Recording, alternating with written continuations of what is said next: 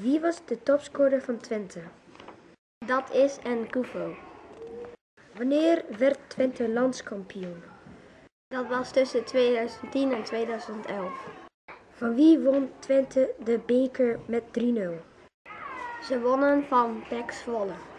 Wie is nu de spits van Twente? Dat is Castanjos. Welke rugnummer heeft Tadic? Tadic heeft rugnummer 10. Giegel maar. Castanjos. Oké, die doen we aan het eind.